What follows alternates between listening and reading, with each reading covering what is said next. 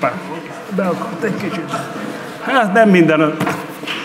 Amint látják, egy kísérlettel kezdjük, egy ilyen speciális bemutatóval, ami azt mutatja meg, hogy a mozgás állapot és egyéb fizikai törvényszerűségeknek egy alapjával kezdünk. Szerintem idáig jó is. Köszönöm a figyelmet. Hertlen Károly vagyok, a Műegyetem Fizikai Intézetének mesteroktatója. Hát a kísérletemnek a legelején mindenképpen szeretném megköszönni a Budavári Stúdiónak azt a közvetítést, ami itt együtt, tehát végül is tegnap óta együtt fölépítettünk.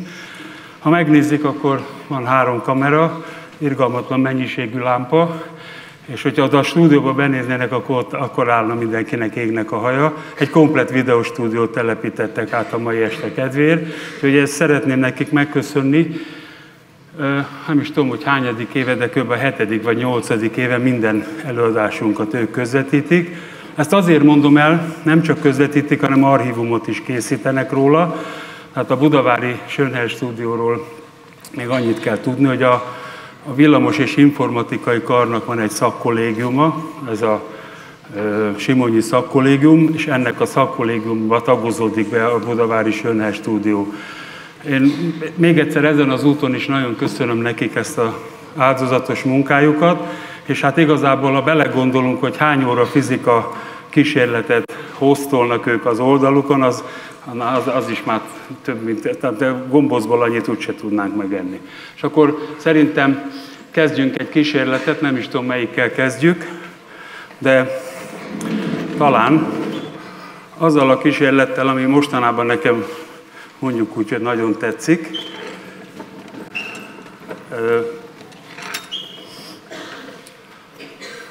Ide fogjuk ezeket a kísérleteket föltenni.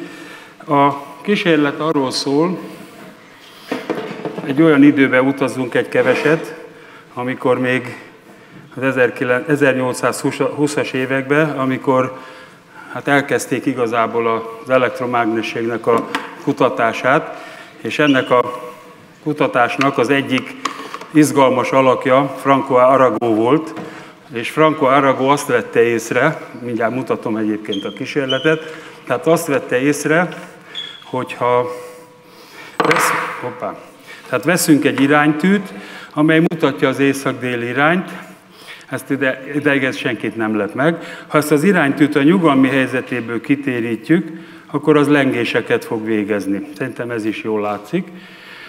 Én arra gondoltam, hogy ezt egy kicsit megcsináljuk látványosabbra. Ezt úgy fogom csinálni, hogy vettem egy ilyen torziós szálat, ez egy egyszerű pecadamil, és ide fölfüggesztünk egy szép nagy mágnest, egy jó erős mágnest. Tehát akkor ez az észak-déli irányt mutatja, térítsük ki, és szerintem jól lehet látni, hogy ez lengéseket végez.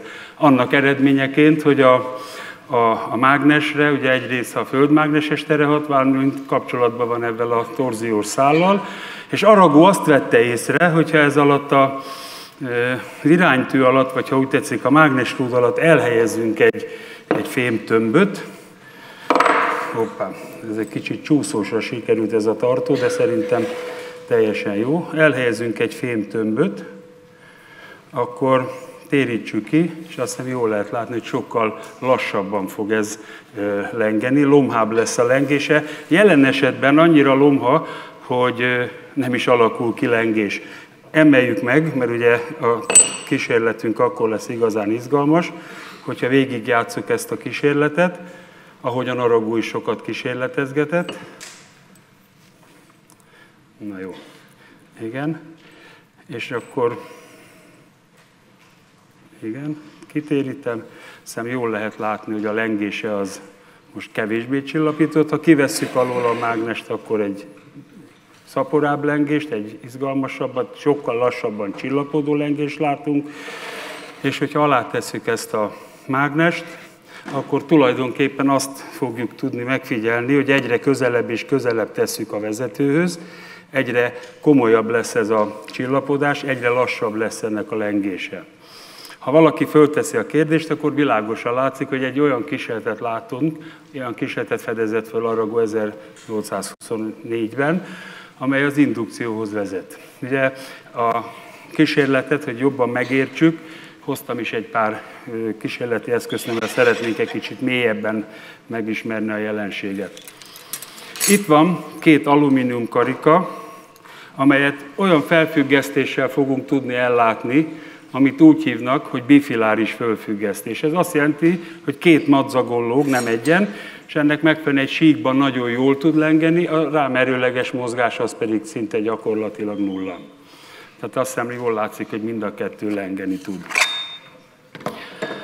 Abban az esetben, hogyha megnézzük, hogy egy erős rúdmágnes és egy alumínium között milyen kölcsönhatás van, ilyen fölfüggesztés mellett nem fogunk észrevenni jelenséget, hiszen a mágnes és az alumínium között van kölcsönhatás, hiszen az alumínium paramágneses, de ha ide teszem, ebből túlzottan sokat nem fogunk látni, főleg azért nem, mert a kölcsönhatás nagyon gyönge.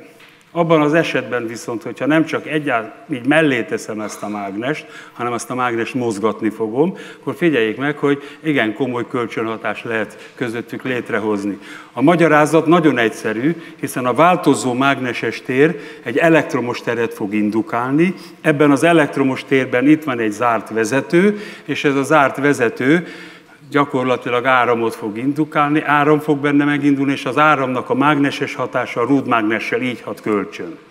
Na most, a kísérletezésnek vannak szabályai, és általában azt kell mondjuk, hogy ne, hogy pontosan olyan hibába essünk, mint például a görögök, akik az volt, hogy észrevettek egy jelenséget, adtak rá egy magyarázatot, és ez a magyarázat, ha nem volt jó, akkor hosszú-hosszú évezredekig akár ebben a hitben éltek az emberek, mert nem jártak utána. Ilyen volt például a görögök, azok megállapították azt, hogy minden testnek a nyugalmi helyzet a sajátja, és azt mondták, hogy minden test a nyugalomra törekszik. Ugye kellett várni Newtonig, amíg eljutottunk, hogy ez pontosan nem így van, hiszen Newton az ő első törvényével ezt gyönyörűen megcáfolta a görögöknek ezt az állítását.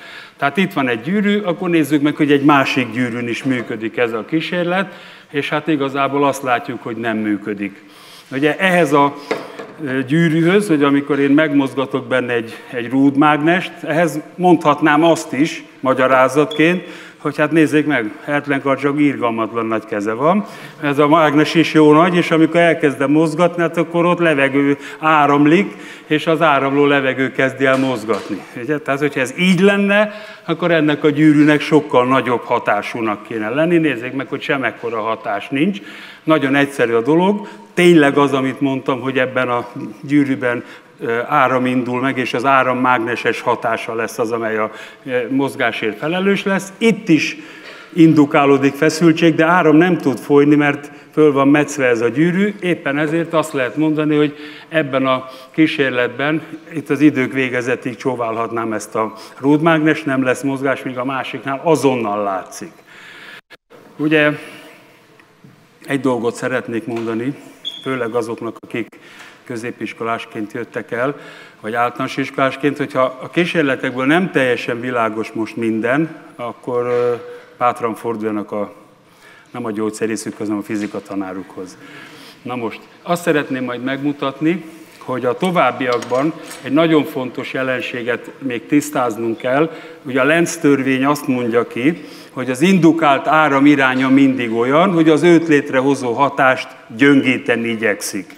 Ugye, hogyha ezt képletben akarnánk megnézni, akkor a képletben találunk egy negatív előjelet, ugye a delta phi per delta t, az az indukált feszültséggel arányos mennyiség, és oda teszünk el egy negatív előjelet. Erről negatív előjelről szeretnék mondani egy pár szót. Nagyon akarjuk, föl is írhatom a képletet, látom, hogy többen néztek rám, én furcsán, hogy talán nem tudok írni. Tehát akkor az indukált feszültség az ugye arányos a mínusz delta phi per delta t-vel, Ugye az a fluxusváltozás és a hozzá szükséges idő, erről a negatív előjelről szeretnék egy keveset beszélni.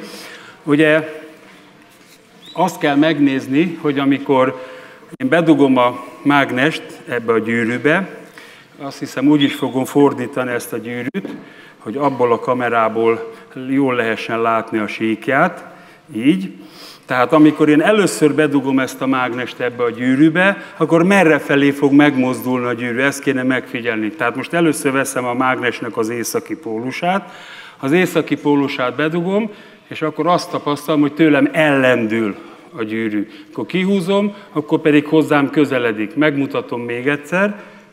Így, bedugjuk, így, a hoppázó ujjammal hozzáértem. Nem jó. Na tehát, bedugom. Lát... Lányos zavaromba vagyok, na még egyszer bedugom és akkor ellendül. Kihúzom, és akkor lendül felém. Tehát ez akkor van, amikor az északi pólusával kísérletezek. Most megnézzük a másik felét, figyeljük meg még egyszer. Megint csak ellendül, és visszafelé húzom, akkor megint csak felém jön. Tehát mi a különbség? Semmi. Ez a lényeg. Tehát itt a kísérlet ugye a negatív előjelről beszél, mindig olyan áram fog indukálódni, amely az őt létrehozó hatást gyöngíteni igyekszik, tehát amikor én ezt így befelé dugom, indukálódik az áram, és ez az áram olyan mágneses teret fog létrehozni, mint hogyha ezzel szemben egy olyan mágnes állna, amelynek itt a piros fége, és ott a távolabbja kék, és így alakul ki a taszítás. Amikor viszont én kirántom, akkor ez éppen meg fog fordulni, és akkor egy olyan alakul, hogy a kettő vonzani fogja egymást. Nem, lehet, hogy nem teljesen világos, de én hoztam még egy kísérletet ennek a bemutatására. Ebbe egy irgalmatlan erős mágnes van, és ami biztos, biztos, ezt a mágnest innen elvisszük. Már csak azért is, mert a másik mágnes, amit elő fogok venni, az egy elképesztően erős mágnes. Azt hiszem mindenki láthatja, hogy itt ez a mágnes. A mágnesünket, hogyha leteszem ide az asztalra, és ebből a magasságból lejtem, akkor mindenki látja, hogy mennyi idő a tesik le, láthatja, hogy egy szép nagyot koppan. Meg lehet a másik felével is eltenni, ezzel is ugyanaz történik. Most tegyük alá ezt a rezet, és hogyha ráteszem, akkor szerintem mindenki látja, hogy, hogy szinte nem is koppan. Azt is megtehetjük, hogy megfordítjuk, és ebben a megfordítással ugyancsak ugyanazt az esélyt, ugyanazt a lassulást fogjuk elérni, amit még érdemes ebben a kísérletben megnézni, hogy fogom, ide teszem ezt a mágnest, elbillentem, és látjuk azt, hogy a mágnes milyen módon billen el. Ide tesszük rá alá résztömböt, és azt hiszem, hogy jól látható, hogy ez igazán lassú. Ezt a kísérletet sokan szokták úgy bemutatni, hogy egy részcsőbe ejtenek mágnest. Ugye hát az, általában azt lehet mondani, hogy ezzel a ha részcső van és egy rúdmágnes, akkor viszonylag közel kerülhet minden egymáshoz, és egy viszonylag olcsóbb megoldást találunk ennek a jelenségnek a nagyon jó bemutatására. Hát az embernek van egy kicsit több pénze nagy mágnesre, akkor az működik, de a, rész sem olcsó. A, amit szeretnék még megmutatni, és még mindig maradjunk ennél a negatív előjelnél, leteszem ezt a mágnest, nem, először megmutatom itt a közelülőknek a mágnes, hogy nézzék meg, hogy nincs bekenve semmiféle csirízzel, ugye nincs bekenve. Helyes. Jó? Azt fogom tenni, hogy erre a mágnesre szépen ráteszem ezt a résztömböt, és ezt a résztömböt hirtelen föl fogom emelni.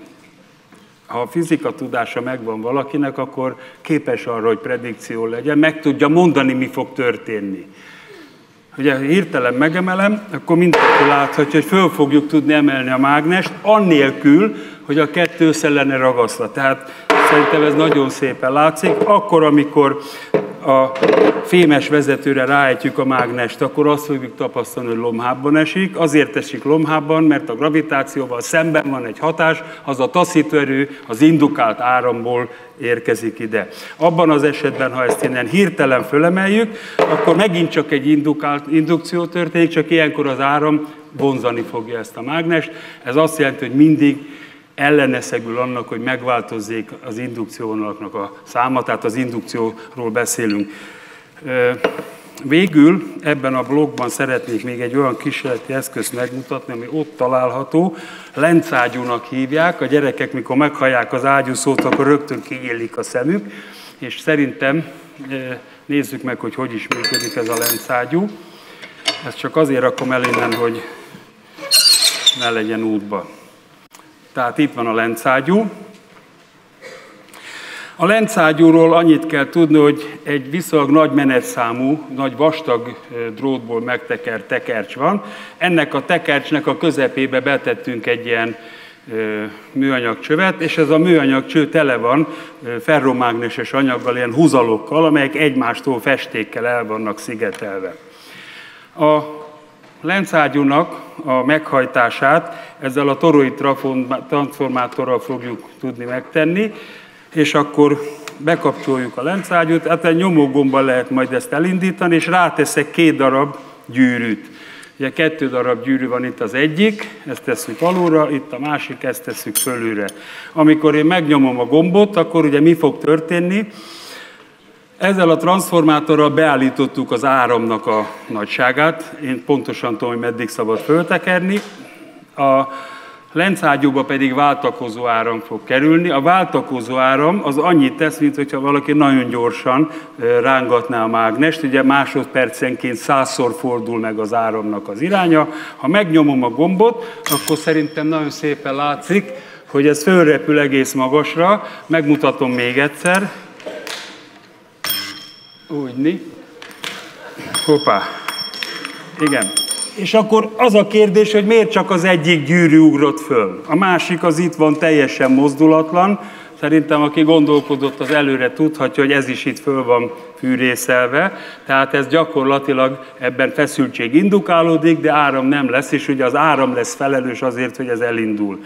Azt is meg lehet tenni, hogy a transformátorral folyamatosan szabályozzuk az áramot, és akkor nagyon jobban lehet ezt a jelenséget tanulmányozni. Bezárom az áramforrást, most még az áramkört, nagyon kicsiny a, a áram, és hogy elkezdem növelni az áramot, egyszer csak elkezd megemelkedni, és egy megadott magasságban lebegtetni lehet ezt a testet.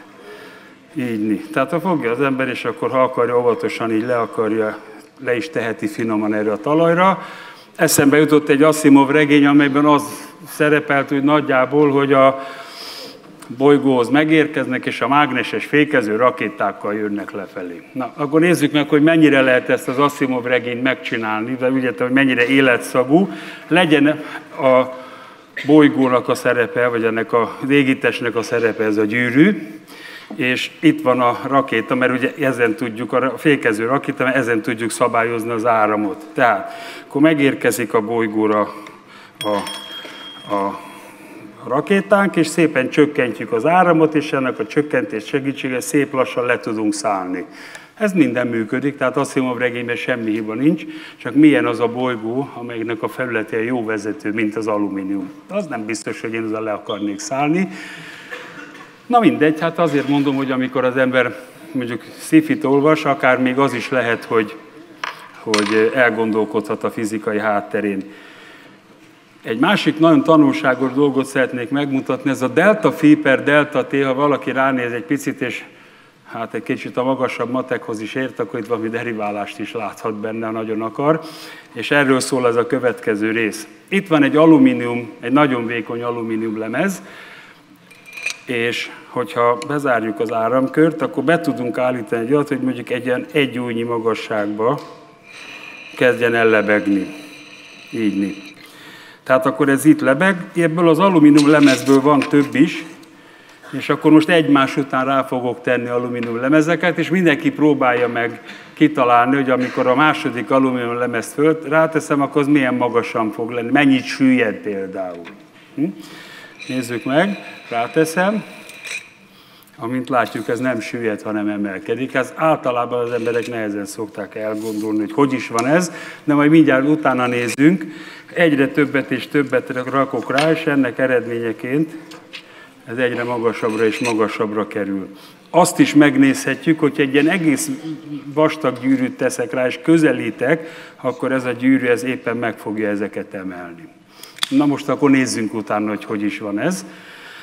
Ugye, hogyha meggondoljuk, a gerjesztő áramunk az ebben a tekercsben van, és ennek a gerjesztő áramnak az áramiránya és az általa létrehozott indukált áramirány az antiparalel áram, vagyis egymással szemben folynak. Ha meggondoljuk, akkor a 90 fokos fázis áram átállítolásnál pontosan ez látszik is.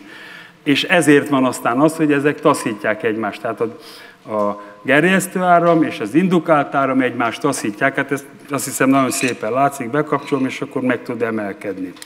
Abban az esetben, hogyha még egy indukált áramot teszünk, azok viszont azonos fázisban lesznek, ezek az áramok paralel áramok, és ezek pedig vonzák egymást. Aztán ezért van aztán az, hogy ide teszem, és akkor egész magasra föl lehet emelni. Tehát ilyen egyszerű dolgokat is meg lehet mutatni egy ilyen viszonylag jó eszközön, mint a lencágyú. Akkor most egy kicsit más vizekre evezünk, hát ugye víz nem lesz még a kísérletben, de majd lesz előbb-utóbb az is. Itt van ez a korong, főleg azért is akarom óra elején ezt megmutatni, mert akkor utána el lehet pakolni, és nem takar ki annyi mindent. Ez a korong, ez egy forgatható korong, van egy villanymotor, és ennek a villanymotornak a segítségével akarom, akkor meg is tudom forgatni. Erre a korongra mindenféle mintákat rajzoltam, és ezek a minták, ezeket, hogyha körül, közelről megnézi valaki, akkor azt lehet látni, hogy itt van ez a legbelső kör. A legbelső kör után jön egy nagyobb számú kör, és a kettő között 8 egyenlő részre van beosztva ez a rész, az azt jelenti, hogy fehér, fekete, fehér, fekete, és így körben. A következő 9, és így tovább haladunk kifelé, egyre több és több szektorból, vagy igen, szektorból áll a következő ilyen track. Na most, Ugye a kísérlet a stroboszkópikus hatásról szól, a stroboszkópikus hatásról szeretnénk valamit tudni, megmutatni. Hát az első dolog, hogy egy stroboszkópot szeretnék megmutatni, hogy mégis ez hogy néz ki. Ez a stroboszkóp, ez úgy néz ki, hogy van egy bekapcsoló gombja, ha bekapcsoljuk ezt a gombot, akkor azt látjuk, hogy ez villogni fog.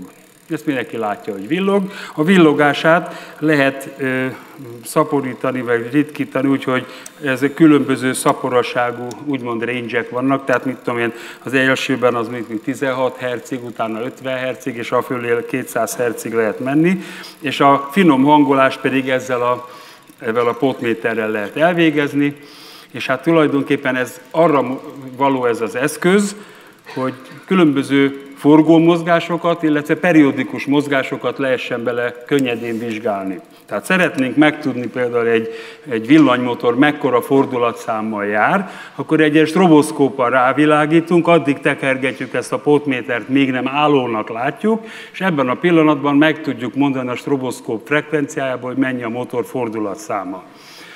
Hogy világos legyen, képzeljük el a következőt. Gondolatban kapcsoljuk le a villanyt.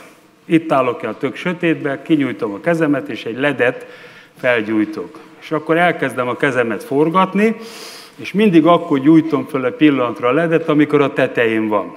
Sötétben vagyunk, nem tudjuk eldönteni, hogy forgatom a kezemet, vagy nem forgatatom, mert egy helyben is villogtathatnám. Ugye ez világos.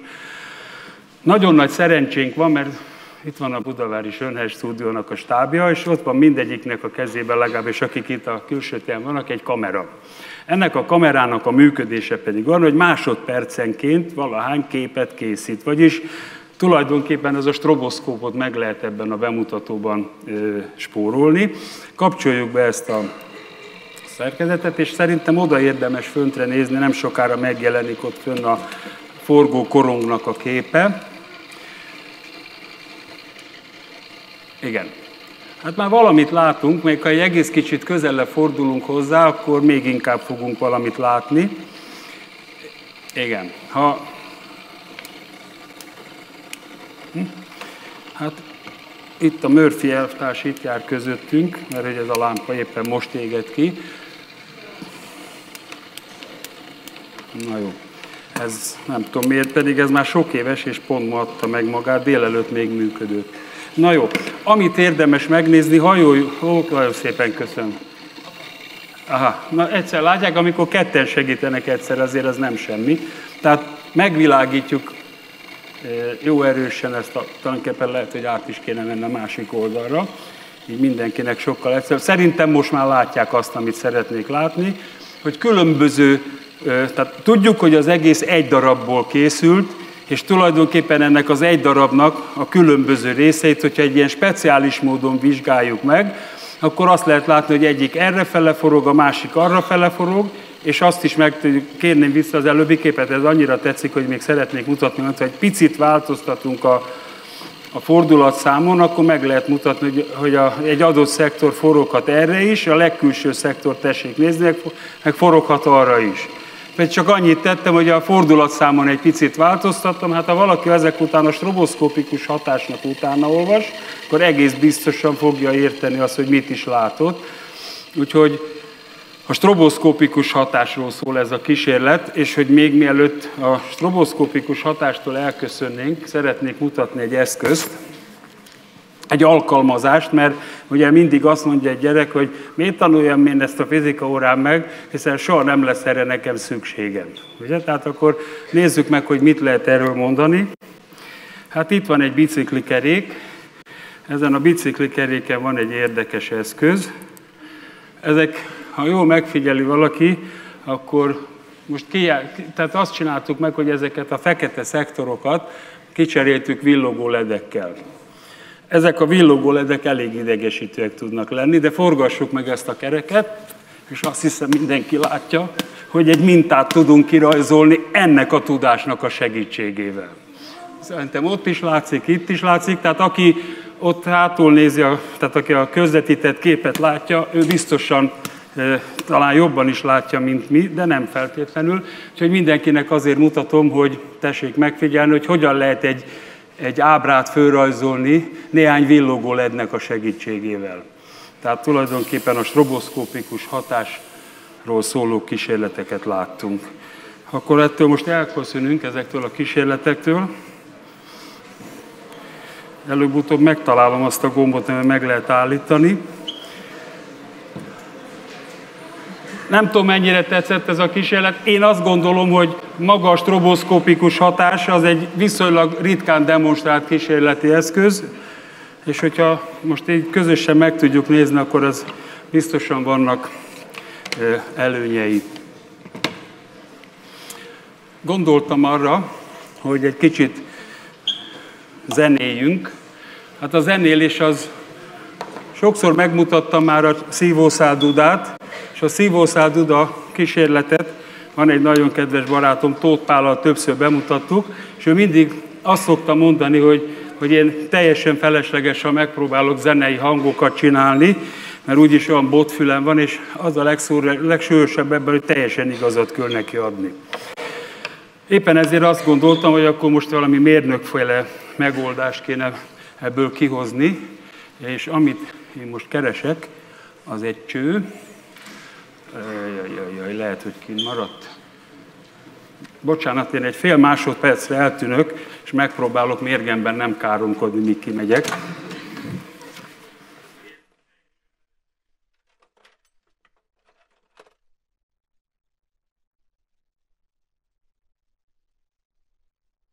Sikerült megállni, mert általában mindig megszoktam nézni, hogy mivel kísérletezek, és mire van még szükségem. Tehát azt szeretném megmutatni, hogy egy mérnöki módszerrel hogyan lehet egy nagyon hangos dudát csinálni.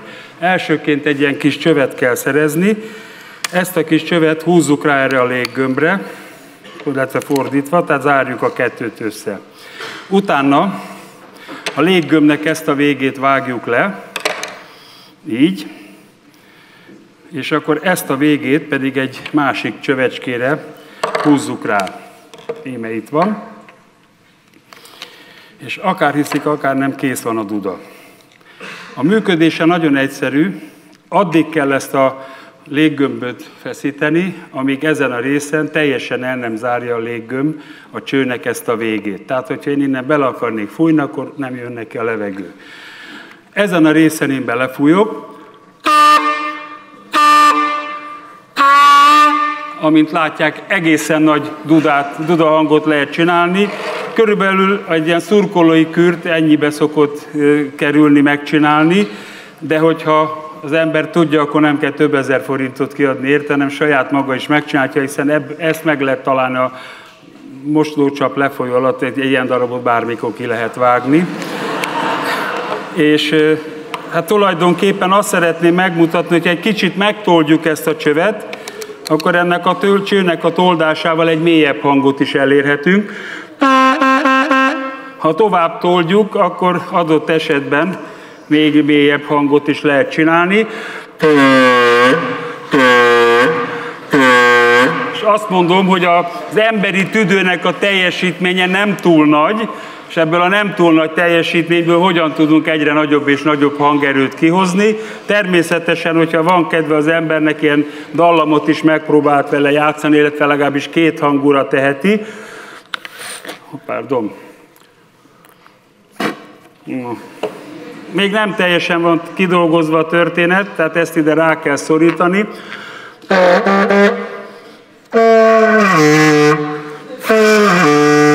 Tehát amint látják, akár két hangot is tudunk csinálni, nagyon könnyen meg lehet csinálni, ami magyarázatra szorul egy kicsit, hogy miért van az, hogyha hosszabb és hosszabb lesz a cső, egyre mélyebb és mélyebb lesz a hang. Ugye a kísérlethez azt kell tudni, hogy ha valaki a fizikakönyvet előveszi, és ennek az elővett fizikakönyvnek megkeresi az ide vonatkozó részét, mondjuk egy két végén nyitott sípnak is fölfogható ez a csonk, de fölfogható egy egyik végén nyitott sípnak, hiszen amikor belefújok ebbe a csonkba, akkor az látszik, hogy ezen a végén egy duzzadóhely alakul ki. Érdemes megnézni, hogy ennek a guminak mekkora itt az amplitúdója.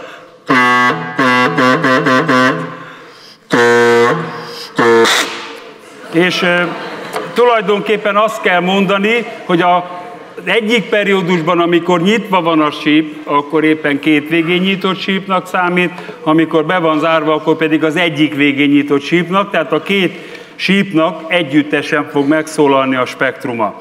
No tehát, ez azt jelenti, hogy mind a két sípunk olyan, az egyik végén nyitott is, meg a mindkét végén nyitott síp is, hogy minél hosszabb, annál mélyebb hangot fogunk kapni, ezt fogjuk a képletben megtalálni, de a képletben lesz ott még egy dolog valami, ami a frekvencia nem csak attól függ, hogy milyen hosszú a síp, ha esetleg valaki látta öveges professzor úrnak az előadását, ott ő még azt is megmutatja, hogy nem mindegy, hogy mennyire vastag a sípnak az átmérője. Egy megadott ö, ö, érték után az átmérő egyharmadával még korrigálni kell ezt az értéket, hanem azt is meg fogjuk látni, hogy ennek a sípnak a hangja attól is függ, hogy mekkora a hangterjedési sebessége.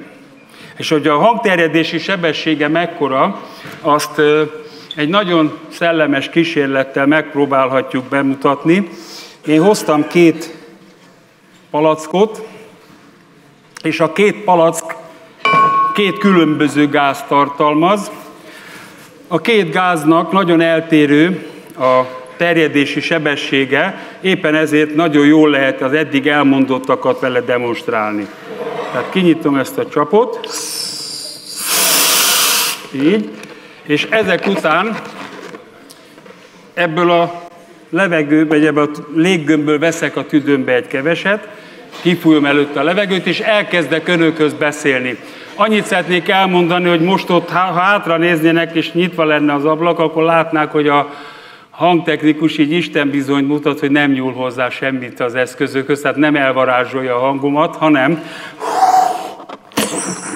hanem csak a fizika az, ami ezt a kísérletet meg tudja igazán magyarázni. Gondolják el, hogy miközben beszívtam a tüdőmbe a héliumból, amelynek a hangterjedési sebessége 90, 980 méter per szekundum, és ez a 980 méter per szekundum hatására, ugye itt van valahol az embernek a, a hangszála, innentől a hangszálától jön a garat, meg a szájüreg, és ez a kettő együttesen a hossza adja meg, hogy milyen mély lesz az ember hangja. Gondoljunk utána, hogy a gyerekek, ahogy egyre növekednek, egyre mélyül a hangjuk, hát ugye egyrészt ez a hossz is növekszik, de maga a hangkeltő eszköz, a hangszál is mélyül, vastagszik. Amikor, tehát még egyszer elmondom, a kísérlet arról szól, hogy amikor én kifolyom a tüdőmből a levegőt, és héliumot veszek bele, akkor 980 méter per szekundum sebességgel terjed a rezgés, és ez azt jelenti, hogy ezt az utat sokkal rövidebb idő alatt tudja befutni, és az így keletkező állóhullámok frekvenciája mindig magasabb lesz.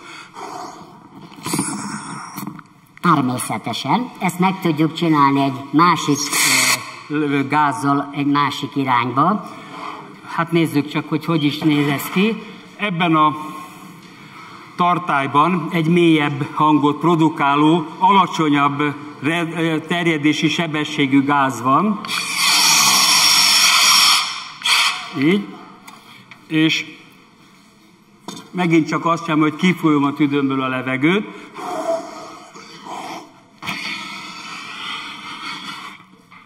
Most megszólalok önöknek.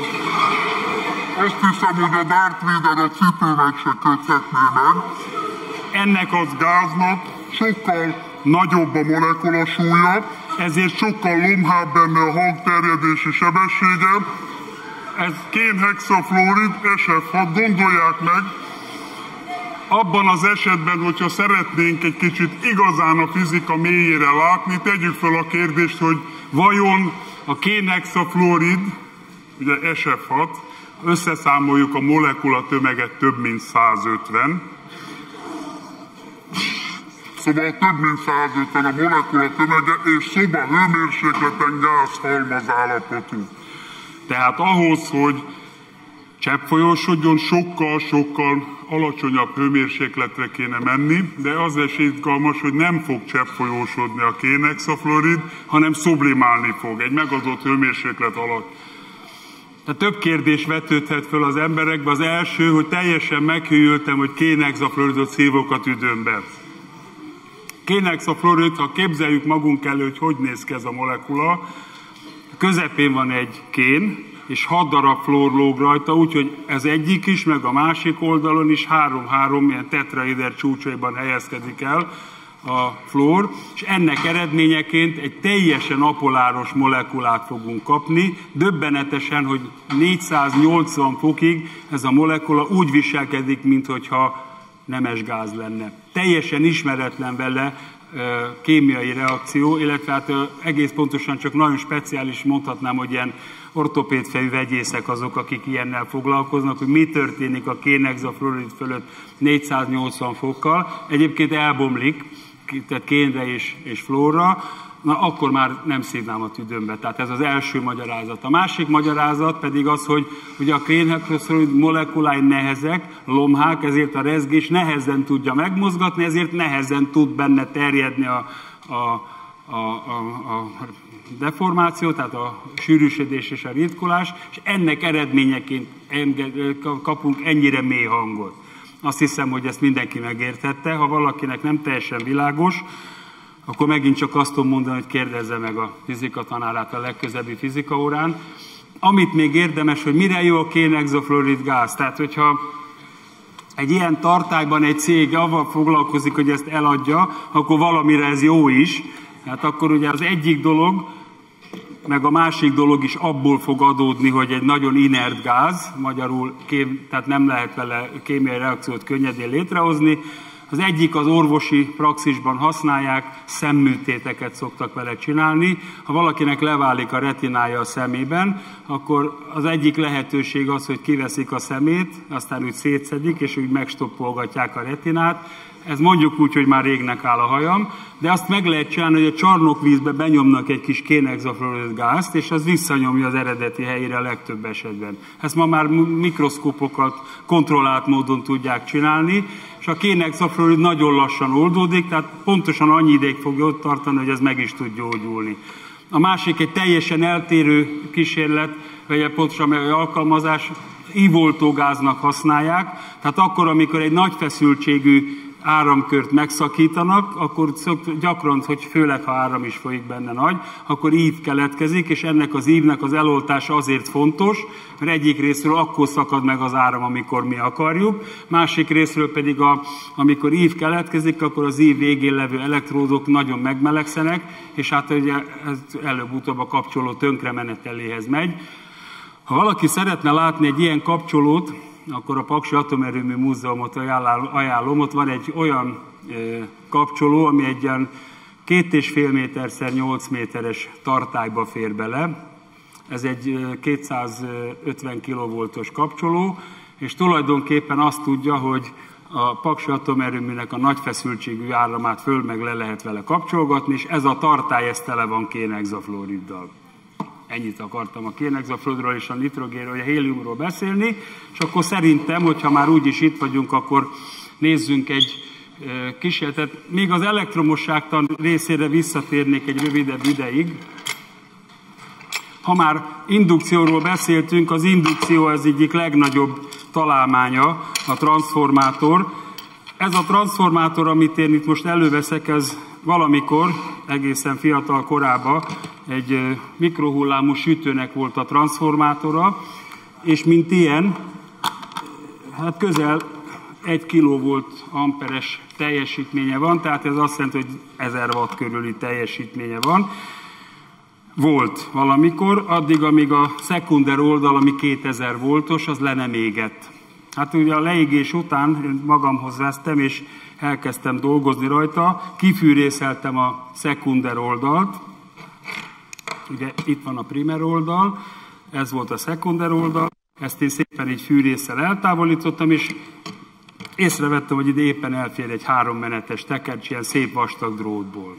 És akkor a transformátorokról ugye tanítgatjuk azt, hogy, hogy a feszültség megváltoztatására nagyon alkalmas, illetve hát ebben együtt a teljesítmény, ha állandó az, akkor az áramerősség is változik.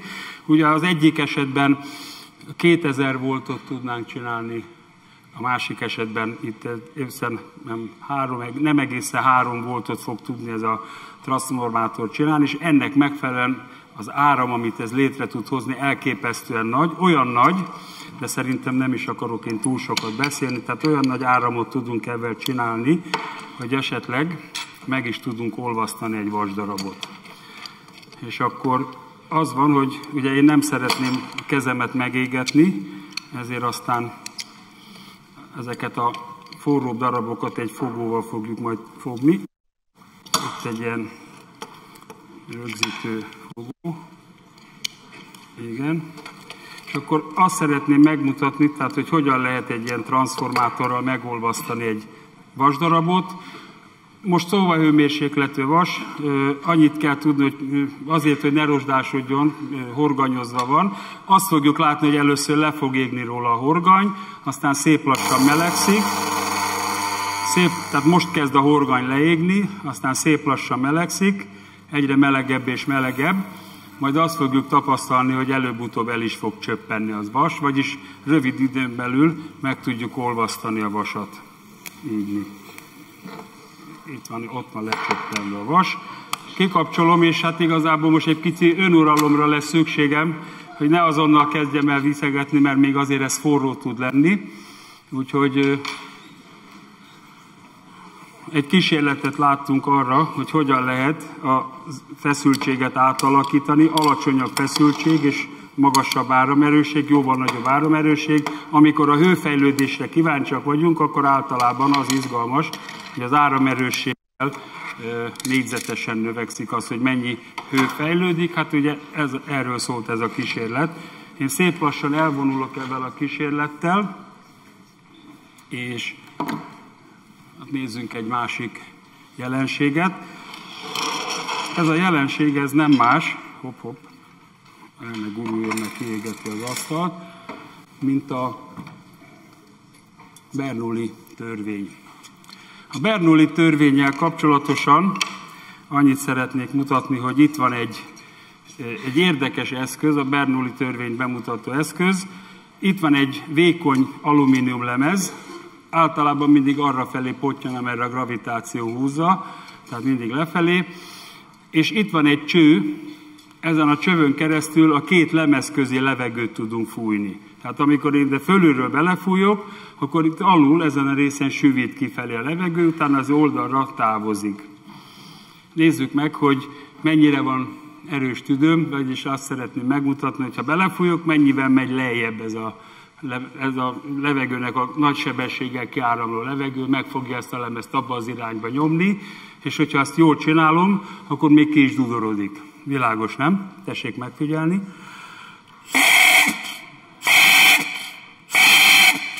Hát ahelyett, hogy ez lefele menne, ez emelkedik, ez egy paradoxonnak is mondhatjuk, tehát a szemlélet ellenes a dolog, ugyanis a következő történik, Bernoulli azt mondja a törvényében, hogy azokon a helyeken, az a közeg áramlik, legyen ez folyadék vagy gáz, ott a, lecsökken a nyomás.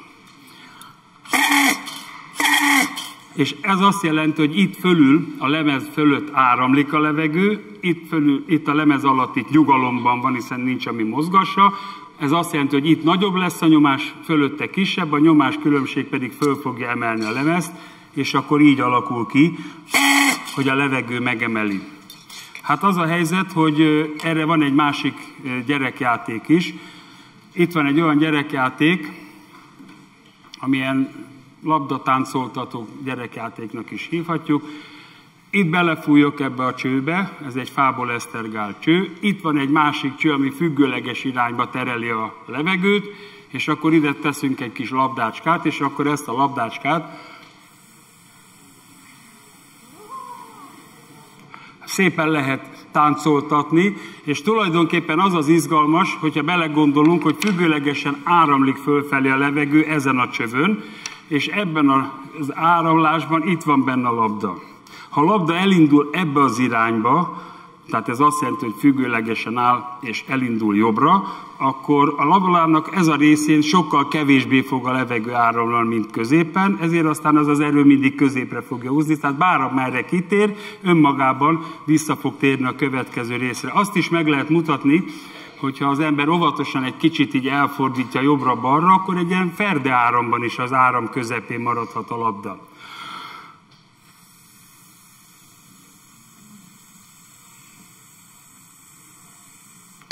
Úgy is van.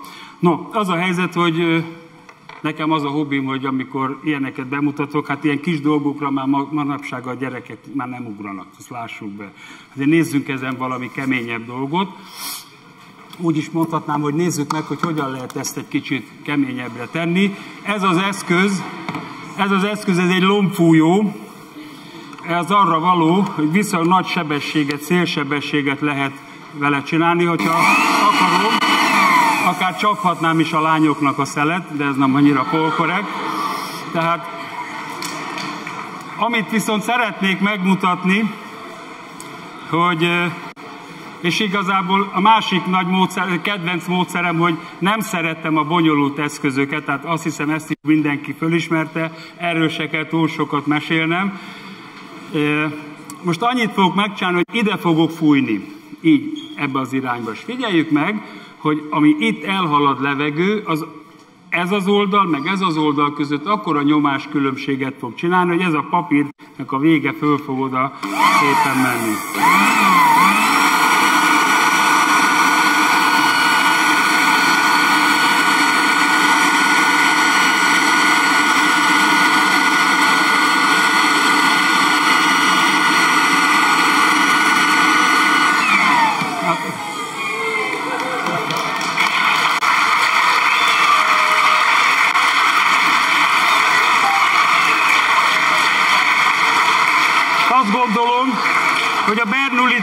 Ezt elég jól sikerült megmutatni. Én az, magam is tetszik, hogy ilyen pillanatok alatt, ugye két jelenség volt. Az egyik, hogy amikor a papírnak az egyik felén nagy sebességgel áramlik a levegő, nagyon szépen köszönöm, a másik felén pedig nyugalomban van, egy nyomás különbség alakul ki, ez megemeli a papírt, és utána, hogyha a papírt hagyom lepörögni, akkor ugye a surlódás még magával rántja, és viszi az egészet Köszönöm. Ki ne dob, csak tedd félre, meg kell az még nekünk, hát ha jó lesz valami kísérletre. Ö, annyit szeretnék elmondani, hogy a, a továbbiakban majd két meglepetés lesz, és éppen ezért én nézek az órára, és tirátok is figyelek, hogy mikor mondjátok, hogy most, mert akkor majd valami meglepetés fog történni. Addig azért nézzünk meg egy olyan kísérletet, amelyik egy kicsit a hőtannal fog foglalkozni. Itt van egy pumpa, és kell nekem ehhez a pumpához még egy palack. Ez a palack úgy van elkészítve, hogy van egy labdafújó szelep, ezt szépen beletettem egy dugóba, és ezen keresztül ezt a palackot én föl tudom fújni hozzákapcsoljuk ehhez a szelephez, a, tehát hogy ez a pumpához, és akkor a következőt fogom tenni, elkezdem én ezt a pumpát pumpálni, egyre több és több levegőt teszünk be ebbe a tartályba. A körülöttünk levő levegőbe, főleg így az óra vége felé, vagy a közepe, inkább a közepe vége felé, egyre több és több a páratartalom. De ebből nem látunk sokat, hiszen a pára oldott állapotban van, vagyis azt jelenti, hogy a fény terjedésének nem akadálya. Abban az esetben, ha elkezdem én ezt pumpálni, akkor két dolgot tapasztalhatnánk, hogyha elkezdenénk ezt az edényt tapogatni. Az egyik az, hogy keményebb lesz a fala, a másik pedig az, hogy magasabb lesz a hőmérséklete. Tehát amikor én ezt a munkavégzést megteszem, és már közel két és félszeres nyomást tudunk létrehozni a levegő nyomásához képest, akkor egyre nagyobb és nagyobb így itt megállunk, és ha most hirtelen kiengedem a gáz, le fog hűlni, figyeljék meg, egy, kettő, három, és keletkezik egy felhő itt benne a palacba. Ugye ez azért keletkezett, mert a bent levő páratartalom elkezdett összeállni csöppök, és ezeknek a csöppöknek a mérete akkora volt, hogy már akadályozta a fénynek az útját. Nézzük meg még egyszer. Tehát most elkezdem fölpumpálni.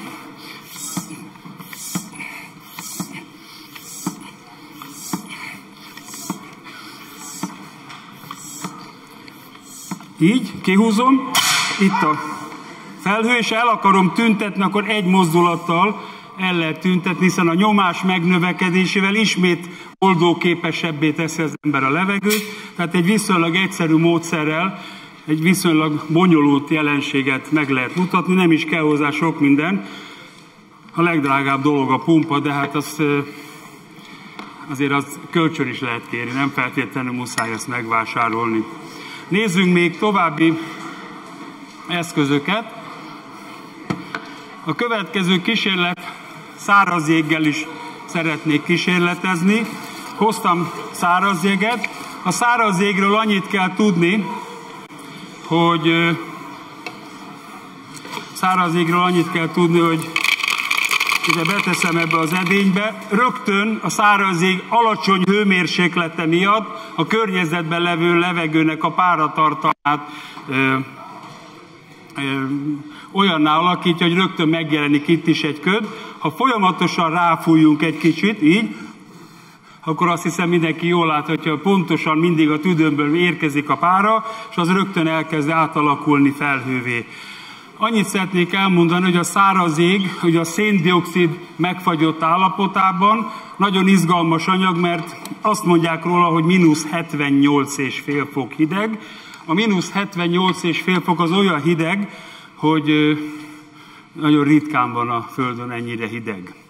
Azt is írja a lapja, hogy nem szabad kézzel hozzányúlni, de ez csak a, az egyszerű emberekre, fizika tanárokra nem vonatkozik. Ide teszünk egyet, meg majd még egyet, és azt szeretném megmutatni, hogyha magára hagyjuk ezt a széndiokszidot, tehát a környezettől fölvehet hőt, akkor a széndiokszid elkezd sublimálni. A sublimáció ugye ez egy olyan fizikai jelenség, amikor amikor szilárd halmazállapotból annélkül, hogy cseppfolyósá válna, gáz keletkezik. Ugye a, az elmondásom szerint ugye most az történik, hogy itt egyre kevesebb és kevesebb látható szilárd halmazállapot van. A széndiokszid, ami távozik, arról semmi hogy is mondjam, információnk nincs, hiszen nem tudjuk a széndiokszidot látni, mert szintelen, nem, lát, nem, nem tudjuk kiszagolni, mert szaktalan, tehát igazából az érzékszerveimmel nem tudjuk detektálni. Tegye fel a kezét, aki úgy gondolja, hogy igazat mondtam, és elhiszi azt, hogy itt széndiokszidet sublimál, nem túl sok hitelen van, ahogy elnézem, de azért egy dologba egyezzünk meg, ha csak egy gyerek is föltette a kezét, az már baj, hiszen a fizika nem a hitről szól, mert én azt kérdezem, hogy elhiszi-e. Tehát nem, akar, nem kell elhinni, hanem nézzünk, járjunk utána, neked mondom, mert te voltál, aki elsőként fölraktad a kezed, nézd, itt van egy, úgy hívják, hogy gázfejlődés jelző detektor ez a gázfejlődés jelző detektor megmutatja nekünk, hogy tényleg keletkezik gáz. Ha ez egyre nagyobb és nagyobb lesz, az csak azért lehet, mert valaki vagy valami fölfújja. Ugye, és azt hiszem ez nagyon szépen látszik. Itt van ez a két lombik, és ebben a két lombikban keletkezik gáz, majd egy kicsivel később visszatérünk ez a lombikhoz, és megnézzük, hogy nem csak gáz keletkezik, hanem keletkezik-e folyadék. A cseppfolyós halmaz állapotot nagyon egyszerűen megnézni, hogy van-e. Ide jövök egész közel. és megmutatom, hogy elbillentem, és látunk vagy nem látunk folyadékot. Én nem látok, de hogyha valaki lát, akkor az rögtön tegye föl a kezét. Ide is eljövök egész közel. Tessenek megnézni. Van vagy nincs? Nincs, így van. Igen, Ez csak nagyon nagy nyomáson lehet. Tessenek megfigyelni, megfogadni az ő mondatait, mert tényleg nagyon így van. És akkor megnézzük, hogy meg tudjuk-e olvasztani a széndiokszidot. A széndiokszid olvasztáshoz pedig egy speciális széndiokszid olvasztó tégelyre van szükség. Ebbe a tégelybe beleteszünk egy kis cseppfolyós, cseppfolyós beleteszünk egy kis száraz jeget. Hmm, Keresünk egy szép nagyobb darabot. Meg is van. Hát majdnem. Na mindegy, belerakunk ide egy széndiokszid darabot, én ezt lezárom, és akkor most annyit fogok tenni, hogy tartom ezt az eszközt, és a kamera felé nem, nem jöttem túl közel, ugye? Jó, egész közel kéne jönni, ha lehet, akkor ezt a részét szeretnénk látni. Jövök én ám. Úgy. És azt fogjuk látni, hogy keletkezik vagy nem keletkezik széndiokszid, gáz, azt nem látjuk. Mert ugye ezt megbeszéltük, hogy az nem. Abban az esetben megyek hátrébb? Nem. Jó, tehát akkor azt kell nézni, hogy a széndiokszid az egy darabig nem nedvesíti az edényfalát. Rövidesen a megnövekvő nyomás és az emelkedő hőmérséklet együttesen a széndiokszidot meg fogja olvasztani. A széndiokszid, mi, amíg megolvad, addig emelkedik a hőmérséklete, mínusz 78,5 fokról mínusz 55 fokra emelkedik, és a környe, körülötte levő nyomás az pedig meg fog növekedni a légköri nyomás több mint ötszörösére. Itt, hogyha megnézzük, akkor ezen a részen már kezd nedvesedni a, az edénynek a fala, és előbb-utóbb meg fog jelenni az edényben a folyadék halmazállapot. Reményém szerint ez jó zár ez az edény, mert csak abban az esetben nem fog megolvadni, az edényünk nem zár jól.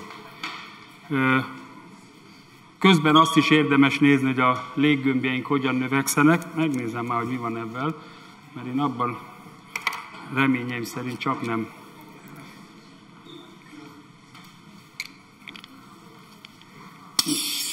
Aha, sikerült, el, elszakadott ez a... Megnézzét, hogy van egy másik, jó? Addig valami másik kísérletet kezdünk. Ez a kupak sajnos itt egy ponton el van szakadva, a fene ott teszi meg. Ö, addig megmutatnám azt, hogy van nekünk egy ennél még hidegebb anyagunk. Ez a még hidegebb anyag a cseppfolyós nitrogén, és a cseppfolyós nitrogénnel fogunk egy keveset kísérletezni. A cseppfolyós nitrogén még ennél is hidegebb, mínusz 196 Celsius fok hideg. Ilyen hideg biztosan nincs a Földön úgy önmagától, ahhoz bizony valami olyan helyre kell menni, ahol ilyet tudnak csinálni. Ez vagy valami jó fizikalabor, vagy valami egyéb műszaki gázokat árusító cég. És akkor azt, hogy ez mennyire hideg, azt egy egyszerű kísérlettel szeretném majd megmutatni.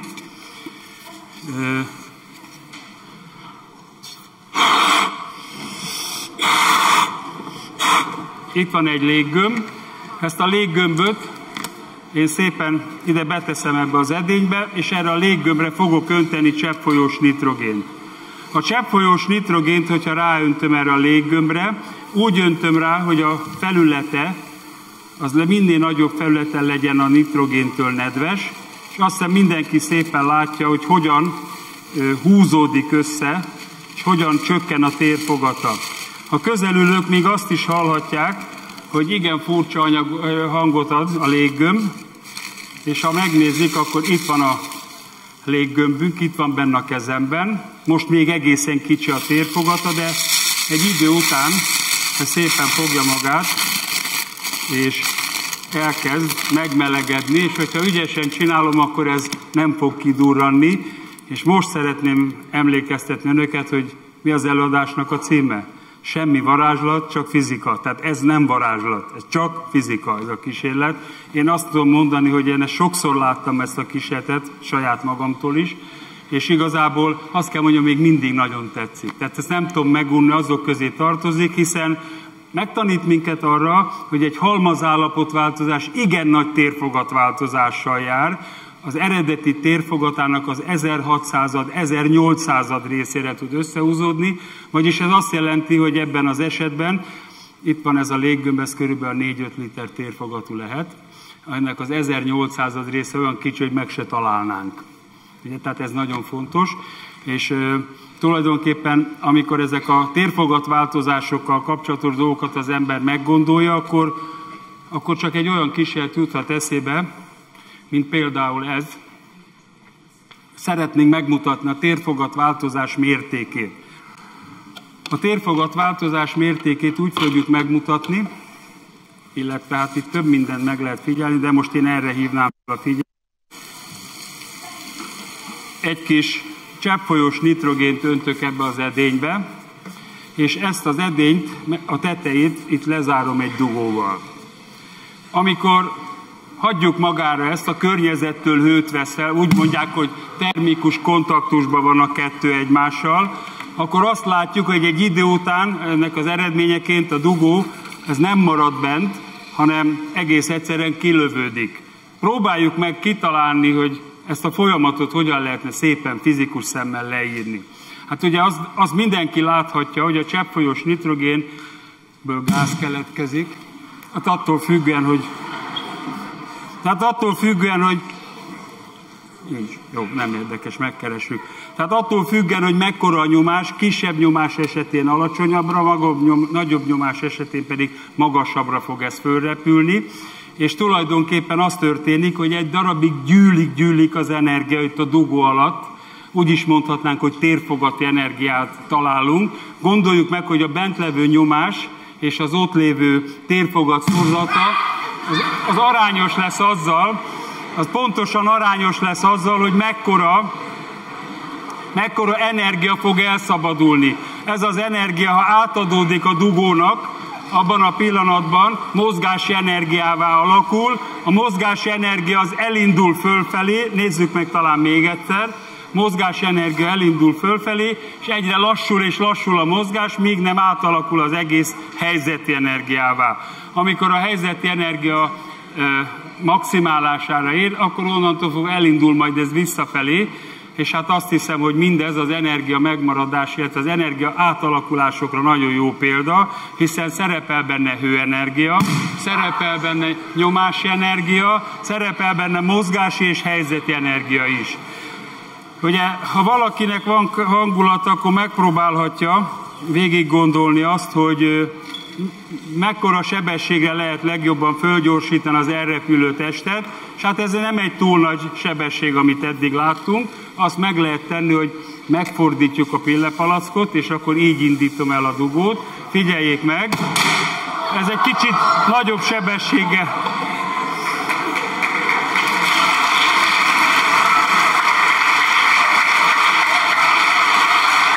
No, hát ez egy ez egy, ez egy kicsit nagyobb sebességre sikerült fölgyorsítani ezt az egészet, és azt szeretném elmondani, hogy most azt fogjuk csinálni, hogy a kísérletünket olyan irányba változtatjuk meg, hogy most teljesen tele fogom tölteni a palackot cseppfolyós nitrogénnel, és utána úgy fogjuk lezárni. Azt érdemes megnézni, hogy a kísérletünkben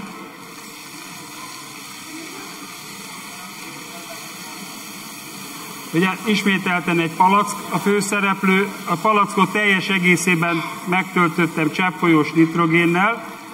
Amit érdemes megnézni, talán most jól látszik, hogy a cseppfolyós nitrogén for. Az lenne a kérésem, hogy egész közeli képet, ha kaphatnánk erről a palackról, a cseppfolyós nitrogén for. Ez azt is jelenti, hogy a forrását meg tudjuk állítani, ráteszem a kezem, és abban a pillanatban abban marad a cseppfolyós nitrogén forrása, hiszen emelkedik a nyomás. Növekszik és növekszik a nyomás, amikor hagyom, hogy a gáz szabadon táguljon, akkor ebből elkezd forni.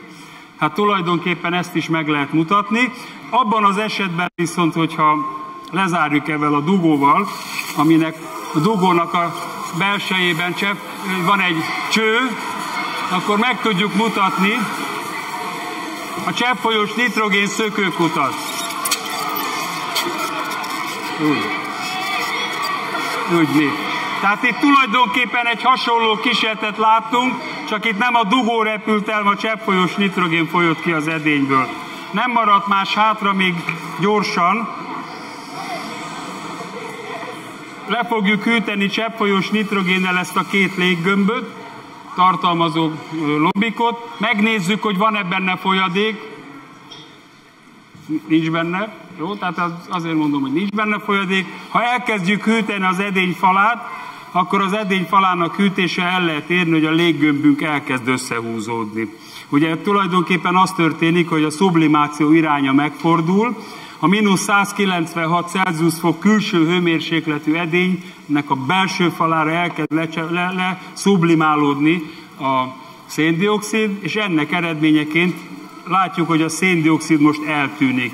A léggömbünk nem lég, egy gázfejlődés, hanem gáz eltűnés jelző detektorrá változott, és amit érdemes megnézni, az az, hogy egyre kisebb és kisebb a léggömb, ahogy a léggömbünk húzódik és húzódik össze, hát azt tudjuk tapasztalni, hogy az eredeti állapot visszaáll, sőt, mi több odáig is eljuthatunk, hogy eltűnik teljesen a léggömbből a széndiokszid, és a léggömbünk bemászik a belsejébe, és úgy fogja kibélelni az edényt, ahogyan az teljes egészében neki feszül a falának. Szerintem ez nagyon szépen látszik. Közben ugye ezt is lehet látni, hogy az edényünk még továbbra is forr. Az a kíván kérdésem, hogy nagyjából most kéne történni az első meglepetésnek, hogy még nincsenek vonalba, ugye? Jó.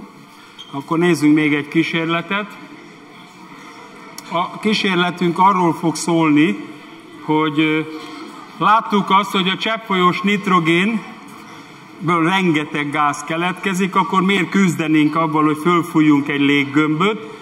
Ebbe a töltsérbe töltséren keresztül a léggömbbe öntök egy kis cseppfolyós nitrogént, így, és ez a cseppfolyós nitrogén lesz az, amelyik majd fölfújja nekünk a forrása révén a léggömböt. Tehát azt hiszem lehet látni, hogy jön kifelé a gáz, én most ezt bezárom, elkezdem rázni, hogy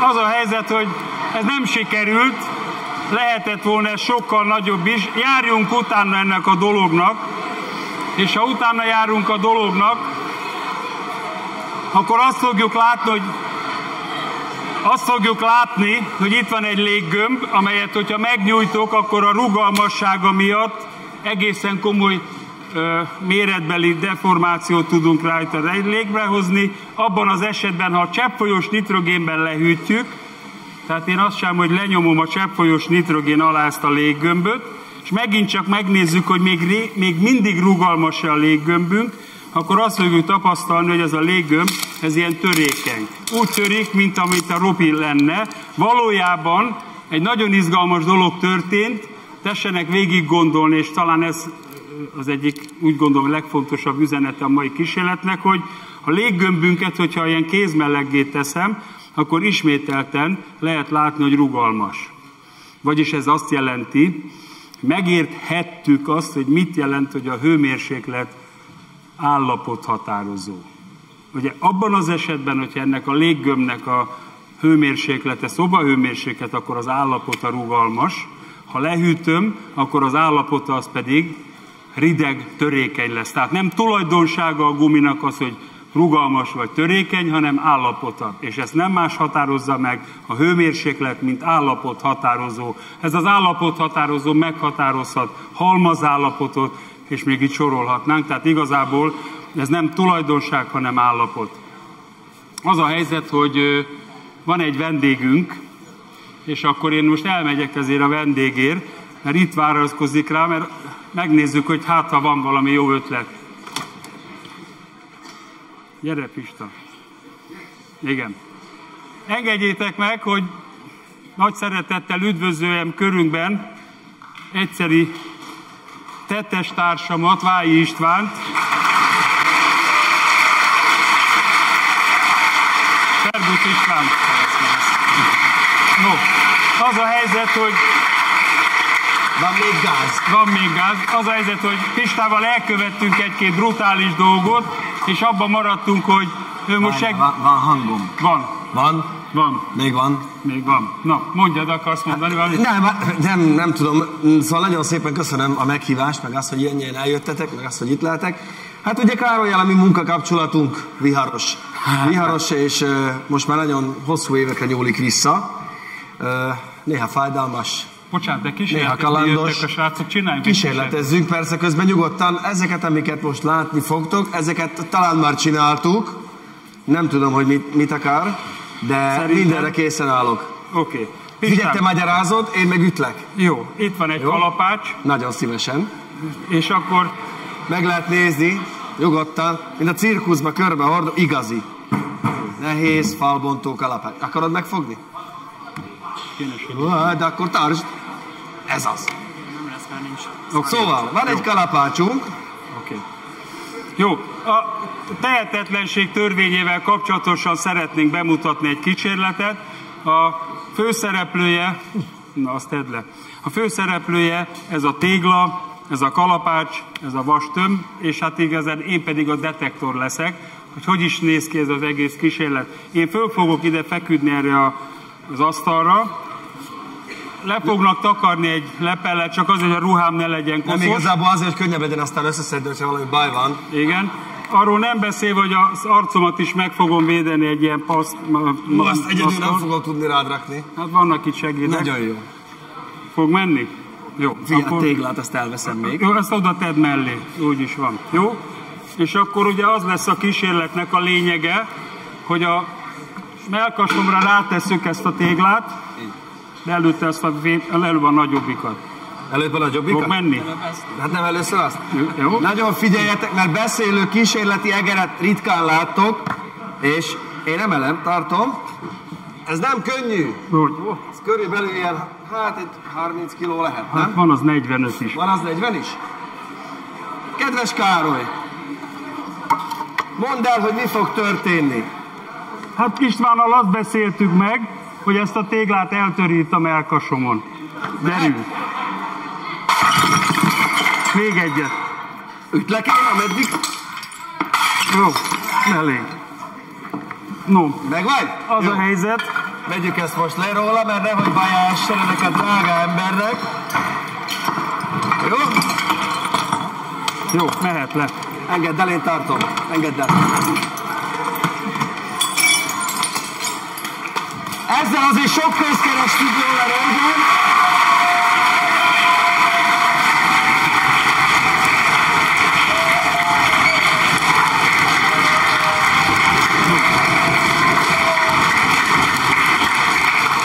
Az a helyzet, hogy a, igazából a taps a fizikát illeti, mert végül is a mindenki a fizikának tapsol.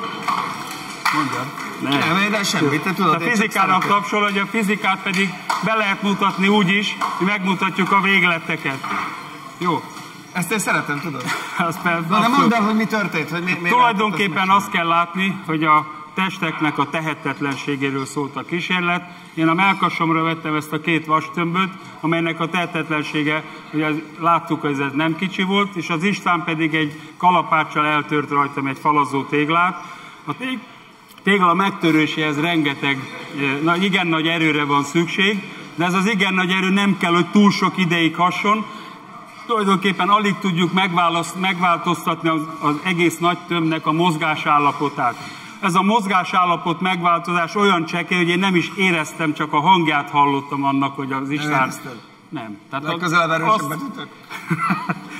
az az igazság, hogy mindegy, hogy mekkorát ütsz, hiszen a tégla viszonylag megvan, hogy mekkora energiától roppan össze, és az a kalapács, amit rá tudsz ütni, ez alig mozdítja meg. Tehát, hogyha valaki egészen közelről csak a vasat nézte volna, a vasnak a megmozdulása nem érte el a másfél millimétert. Tehát ez gyakorlatilag komolytalanul kicsi volt az ütés, de, jó, jó, de köszönöm jó, szépen.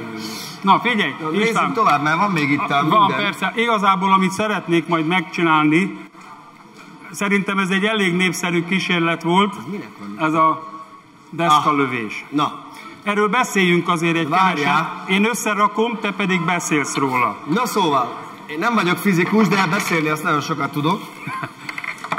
Amikor ezt a kísérletet először megpróbáltuk, mert ugye a nevében benne van, hogy kísérlet, szóval nem volt okvetlenül minden tökéletesre csiszolva, hogy finoman fejezzem ki magam az elején, bár igyekeztünk felkészülni. Ez azért jellemző a mi munkakapcsolatunkra, meg arra a rengeteg kísérletre, amit együtt csináltunk.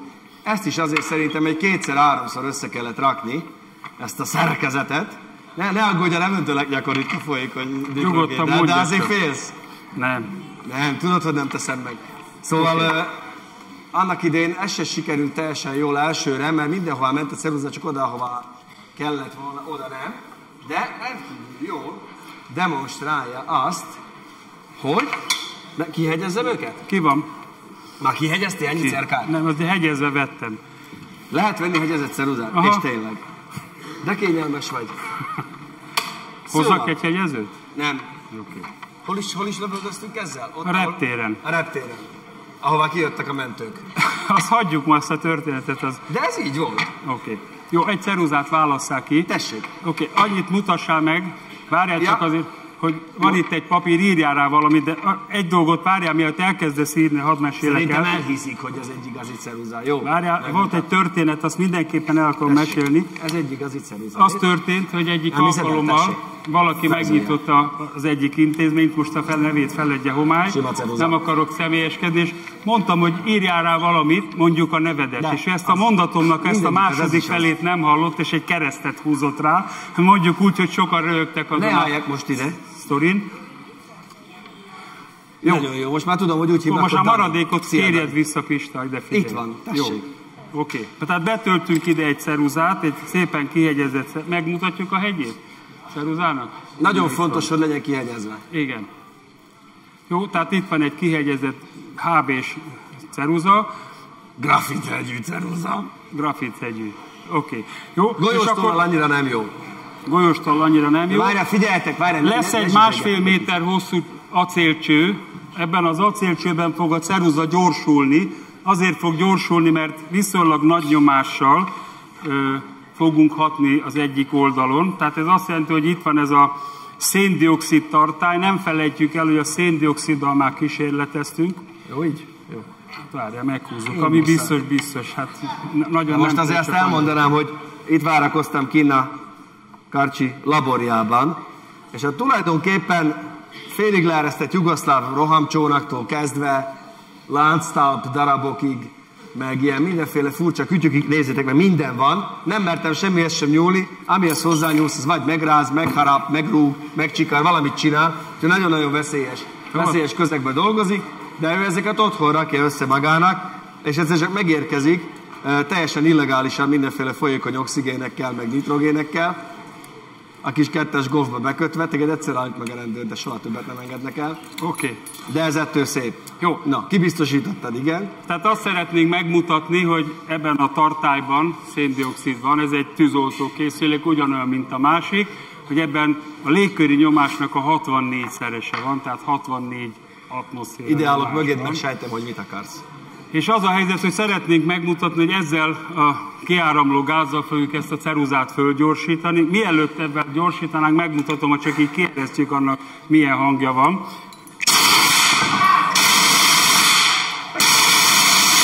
Tehát körülbelül e- ekkora gázerővel fogunk gyorsítani. Ezt keresed?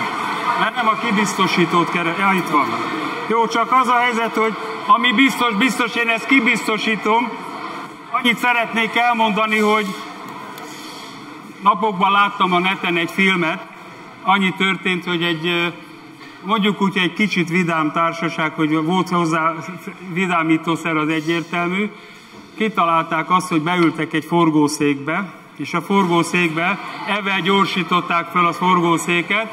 Hát egyszerűen mondom, hogy borulás és mentő lett a vége, tehát fel szeretném hívni a figyelmet, hogy azt viszonylag könnyen be lehet egy ilyet szerezni, de azért meggondolandó, hogy az ember mit is akar tenni. Tehát akkor a továbbiakban Főleg már tehát- látjuk, hogyha én ki fogom nyitni ezt a palackot, akkor Na várj, igen, most figyelj! Figyelj, figyelj, figyelj, benne van a ceruza, benne. Kárcsi bácsi ráengedi a gázt, felgyorsítjuk a ceruzát, iszonyú nagy sebességre. Igen.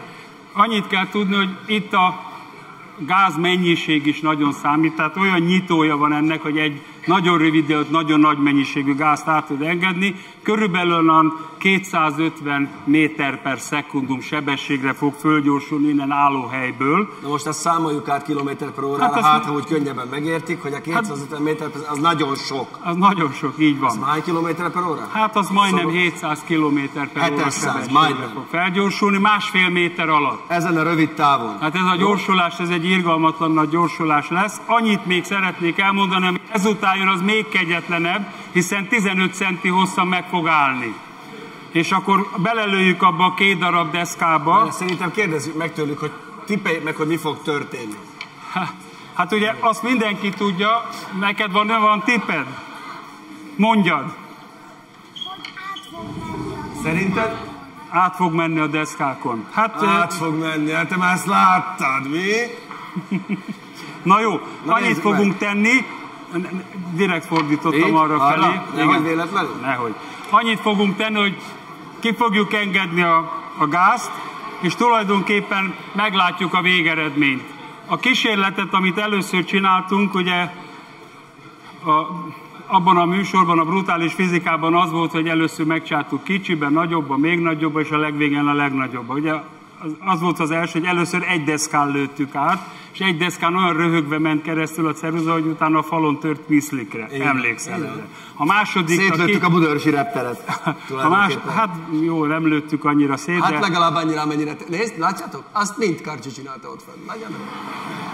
Ott, látjátok? De ott van. ott, Látod? hát tudom, hát már ki én lesz számlázva. Én csináltam. Tudom. Na tehát akkor az a lényege, hogy a, a kísérletben két deszkán pontosan úgy sikerült, ahogy én szerettem volna, de azért rábeszéltek arra, hogy csináljuk meg három deszkával is, azon meg már nem ment át. Hát de Csak egy picit. Hát de benne. Na mindegy, szóval az a lényege, hogy akkor kinyitjuk. Süsd, süsd el, süsd el a, a, a, a, Várjál. tűzoltóágyút. Ki kell, ki kell biztosítani, és Igen, akkor... kiesett a, kiesett a plomba. Hát a plombát anélkül hogy lehet neki biztosítani? Jó? És akkor visszaszámolunk. Három, kettő, egy. Úgy. Jó. Nagyon fontos. A, tehát az a helyzet, hogy úgy van megcsinálva ez az egész, hogy apró részletekre is odafigyeltünk. A ceruzánk az teljes egészében olyan hegyes maradt, mint amilyen volt. Várj egy picit, ezt le kell tekerni. Megmutatom. Na, jól látszik, hogy a, a grafitot azt végig kente a hegyén, de tökéletesen hegyes maradt. Mert nem volt ideje, jól mondom, annyira kemény volt Igen. a grafit, nem volt ideje semmiképpen deformálódni, ugyanúgy tudsz vele írni, nézd. Sőt, szerintem még hegyesebb, mint De volt, István, látod? lenne egy kérésem. Ah. Hallod, Pista? Itt vagyok. Annyi lenne a kérésem, hogy kicsit hagyjál beszélni, mert a műsorból, De jó, persze. a műsorból De lövöldö- kimaradt, kimaradt számomra egy izgalmas dolog, De elmondom, még. mindjárt elmondom, hogy mi maradt ki a műsorból. Én azt szeretném mondani, hogy meg fel lehet tenni a kérdést, hogy ez a kísérlet mire tanít meg minket. Ugye azt mindenképpen érdemes elmondani, hogy a természetben megfigyelhető az, csináljuk meg még egyszer? Na, én addig lehúzom, jó? Jó, persze. De közben mondjad. Tehát a természetben megfigyelhető az, hogy néha a tárgyakat a szél igen nagy sebességre fölgyorsítja.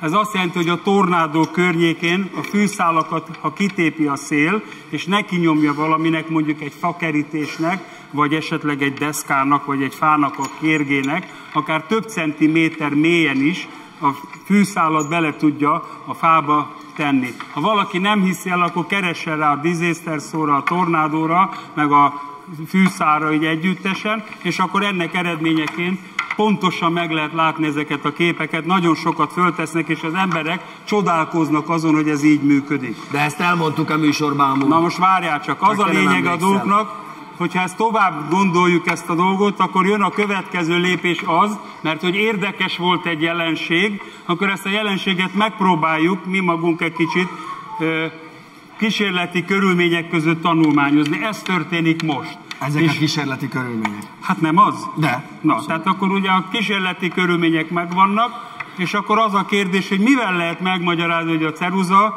ha csak így lejtem, biztosan kitörik a helye a kövön, és ha belelőjük, akkor pedig nem történik vele semmi. Hát nagyon egyszerű a magyarázat, az elébb már mondtam, hogy az állapot határozók azok fontos dolgok. Itt az állapot határozó a grafit alakjának változásának sebessége. Tehát itt az is egy alap, állapot határozó. Kész van, Pistán? Szerintem, ja. Meghúztad? Na, Lősz egyet, vagy inkább én? Lőjétek karate, kezedbe robbanjon fel. három, kettő, egy. Ott a másik.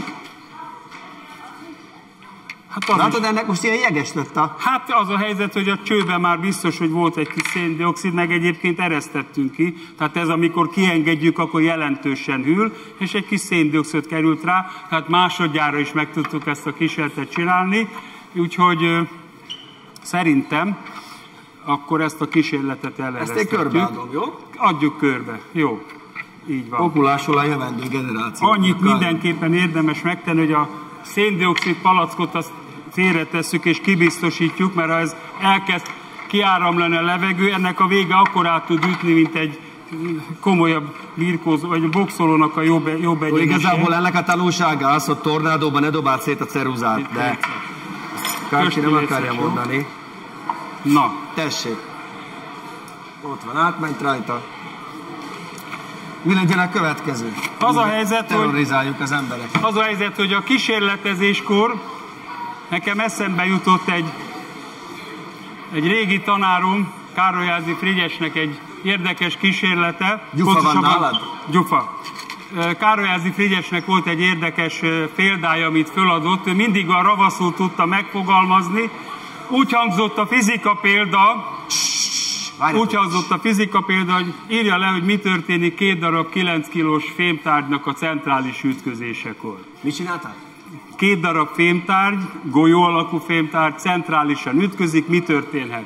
Hát ugye az, a, a, a diákok azok elkezdték leírni, hogy na, vagy rugalmas az ütközés, vagy rugalmatlan. Volt, aki azt ráírta, hogy valamilyen hányadban rugalmas vagy rugalmatlan, de Károly ezért Frigyes nem erre gondolt, hanem arra gondolt, hogy ha ez megfelelő sebességgel van, és mondjuk urániumból vagy plutóniumból van, akkor más is kijöhet belőle, mondjuk egy atom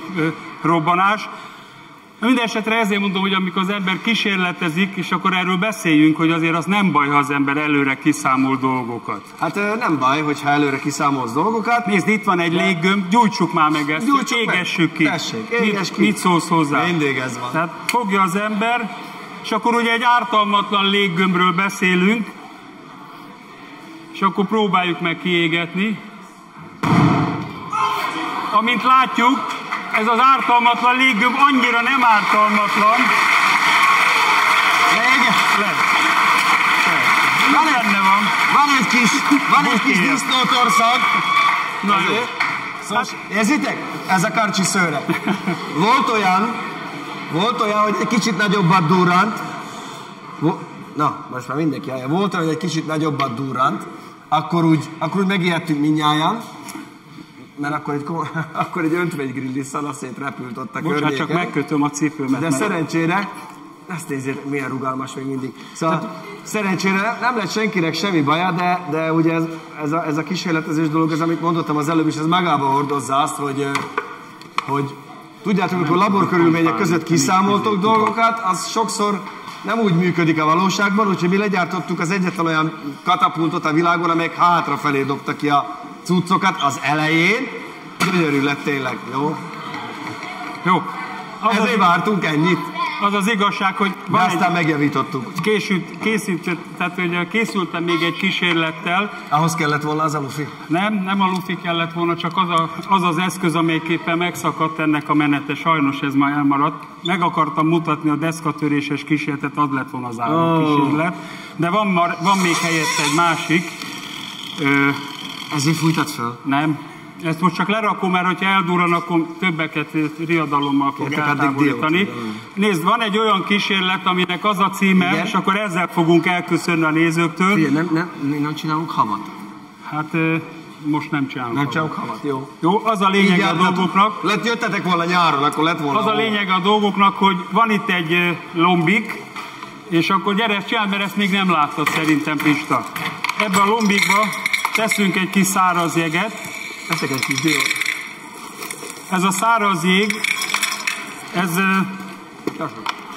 ugye azt mondtuk, hogy sublimál, és a sublimálás segítségével... Ezekkel alszik. Száraz jég, folyékony nitrogén, mindig van nála. Érd? Oké. Mindig van nála.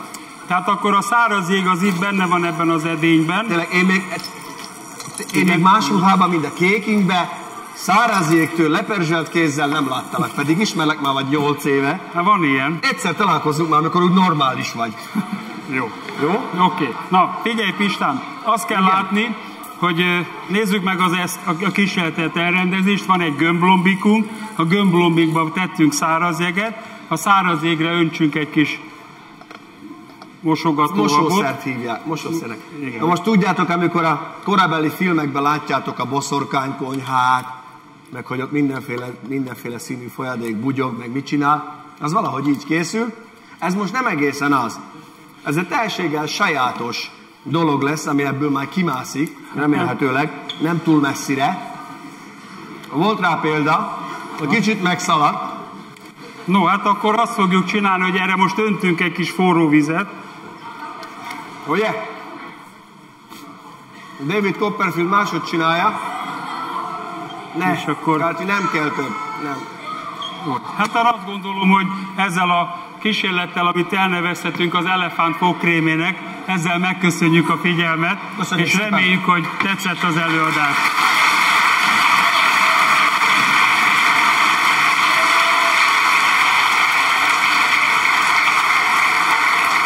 Annyit szeretnék, még egy mondatot szeretnék tenni.